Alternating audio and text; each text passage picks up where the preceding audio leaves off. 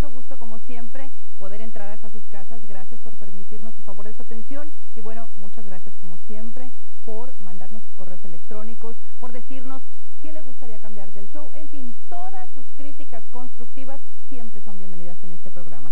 Yo soy Rocío Sánchez Azuara y bueno, estoy segura que todos van a poder identificarse con el tema de esta tarde porque vamos a hablar del mal más común en todos los tiempos. ¿Usted sabe cuál es? Yo creo que latino, el estrés. Y es que si usted tiene exceso de trabajo, de preocupaciones o de ocupaciones familiares y claro, de responsabilidades y no sabe cómo manejar todo esto, entonces este show, ¿sabe qué? Es hecho a su medida.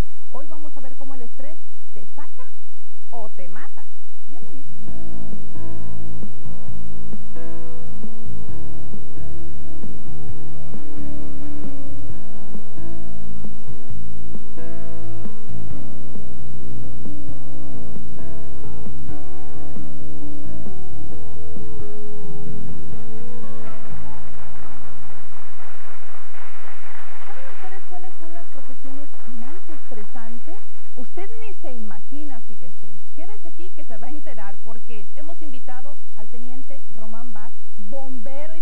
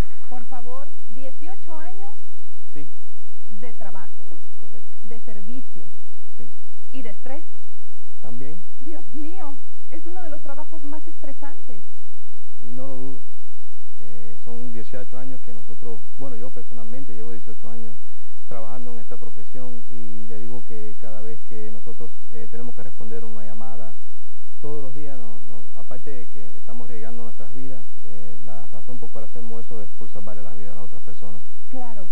¿Cómo se adiestran ustedes? ¿Cómo es que evidentemente tienen uno que nacer con el alma dispuesta para poder darle a los demás? Porque ustedes salen en la mañana y se despiden de la familia, supongo, rogándole a Dios regresar. Pero solo Dios sabe si realmente van a regresar. Suena cruel, pero así es, ¿cierto? Si hay una emergencia pueden perder la vida. Correcto, eh, que es más, un compañero mío, eh, cuando él se despide de su señora, siempre está seguro de nunca decirle adiós, sino hasta luego, Mm. para que ella no se preocupe y, y nosotros hacemos todo lo posible para estar seguros que cuando se acaba el turno de nosotros, que nosotros trabajamos 24 horas, Sí. de que todos vayan a regresar a su familia. Claro. Ahora bien, Román, ¿cómo es que usted, en su caso particular, decidió ser bombero? Bueno, lo, lo más curioso es que el primer juguete que yo recibí a la, a- a la edad de un año, en mis primeras navidades, fue un camión de bombero y yo siempre soñé con ser bombero y, y gracias a Dios eh, lo pude lograr. Claro. Ahora, ¿cómo los preparan? Supongo que ustedes reciben una especie de entrenamiento. Sí, correcto. Eh, eh, aquí en los Estados Unidos eh, son certificaciones, cada estado tiene un, sus propios requisitos, pero nosotros tenemos que entrenar para hacer el trabajo de bombero y también el trabajo de paramédico. Yo diría que entre los dos esos estudios se demoran de 3 a 4 años.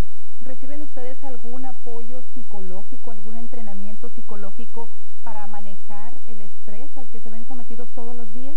Bueno, eh, en casos eh, que nos pueden causar a nosotros eh, un trauma psicológico, eh, nosotros tenemos equipos preparados 24 horas al día que también eh, en esos casos ellos pueden venir a hablar con nosotros y determinar si eso nos ha afectado de una manera que no podemos eh, continuar nuestro turno. Claro. Y después también... ¿Le ha pasado a usted, Román, en, en su caso? Bueno, em, afortunadamente eh, en, en, mi caso, em, yo creo que yo he visto cosas que normalmente son muy difíciles, pero em, yo creo que todos buscamos formas diferentes de tratar de deshogarnos.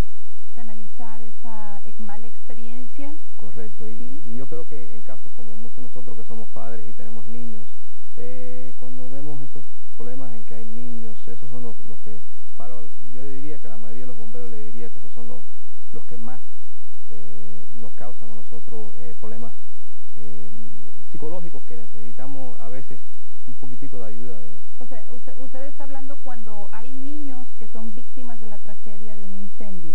¿Eso es lo que usted incendio, está eh, diciendo? niños que se ahogan, eh, niños eh, que han estado en accidentes de, de vehículos. Esas son cosas que nosotros diariamente tenemos que ver y, y- y eso es parte de nuestro trabajo, pero nosotros en esos momentos nos tenemos que enfocar en lo que estamos haciendo y, y lo, que, lo que ocurre es que después que regresamos a la estación es cuando nos damos cuenta Claro. eh, qué es lo que acaba de ocurrir y qué es la lo que acaba magnitud, ¿verdad?, del, del problema, quizás. Sí. Usted ha estado en dos em, trabajos, yo creo que todos los trabajos son sumamente importantes, porque finalmente está salvando una vida, ¿cierto? Y exponiendo la suya. Sin embargo, dos creo yo que fueron noticia mundial y grandes tragedias. Una fue Oklahoma y otra Torres Gemelas, Nueva York, 11 de septiembre. Usted estuvo allí. Sí, correcto. Eh, yo, yo estuve en Oklahoma City y también en las Torres Gemelas. Eso sí fue una un, un- un labor bastante difícil para todos los que, los que tuvimos que ir. Claro. Ahora, eh, no le quiero ni preguntarle qué fue lo más cruento que vio ahí, sino más bien de qué manera usted, cuánto tiempo le, le tomó recuperarse después de regresar de esos lugares. Yo diría que eh, todavía no, no, no pasa un día que nosotros no, no pensamos. Algún punto en, el día algo, algo viene que, algo vemos, algo oímos que, que nos- creo que por un, periodo pequeño regresamos a, a, a, la- a las, a las imágenes que nosotros vimos allí en, en estas áreas. Y, pero después que nosotros inmediatamente regresamos de cada una de esas eh, eh, tragedias, eh, nosotros nos tenemos que reunir con psicólogos y tenemos que comentarle con ellos cualquier cosa que nos esté molestando a nosotros para ver si nosotros necesitamos ayuda eh, para poder eh, recuperar de, esos, esas cosas que tenemos que ver. Recupera y lo dice así como con una gran tranquilidad. Yo me pongo a pensar, por ejemplo, ahorita se me cruzaba por la mente la familia.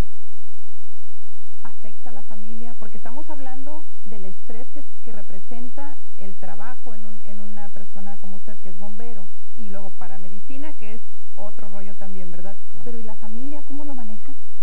Eh, bueno, en el caso mío, eh, afortunadamente mi, mi esposa es enfermera y ella también... Uy, eso ayuda bastante. ayuda muchísimo porque Claro. ella también eh, diariamente tiene que ver en muchas situaciones las mismas los- las mismas situaciones que veo yo y nosotros pues nos podemos deshogar uno con otro de lo que vemos y yo creo que eso es lo más importante de poder poder charlar con una persona y explicarle lo que uno vio lo que lo afectó a uno y buscar una forma de tratar de, de separarse de- de- de- del trabajo, porque es muy difícil. Eh, lo más difícil es que después de esas 24 horas, eh, cuando yo llego a la casa, yo normalmente quiero hablar con ella de algunas cosas que tal vez me molestaron y, y ella siempre está disponible a ayudarme, eso es lo más importante. Escucha. Escucha. ¿Y cómo es que usted, Román, libera toda esa energía o, o ese estrés que trae del trabajo? Porque aunque quiere desenganchar, queda ahí un, un medio gancho, ¿cierto? Tan es así que quiere seguir platicando del caso para ya cuando menos despejarse. Pero ¿usted tiene algún otro método, quizá ejercicio, qué sé yo, para liberar todo ese estrés? Bueno, a- aparte del ejercicio, le diría que donde yo encuentro la paz que me hace falta en la vida, porque normalmente en la vida de nosotros, eh, todos los bomberos y todos los paramédicos, eh, eh, hay mucho stress. Y yo diría que la- yo encuentro la paz en mi familia, trato de pasarme lo más tiempo posible junto con ellos, eh, trato de desconectarme de alguna forma de, de- de ese- de- de lo que tuve que pasar el día anteriormente y, y- y si es ir a un juego de pelota con, con mi familia. O Esa es la reunirme. mejor terapia. Para mí esa es la mejor terapia que hay. Qué rico y qué receta tan buena nos está usted dando. Vamos a hacer una pausa comercial rapidísima y seguimos platicando. ¿le parece? Sí. ¿Y ustedes cómo están manejando esos niveles de estrés en sus actividades? Cuando regresemos, mire, para los que crean que el ama de casa se la pasa genial, no tanto, y es un trabajo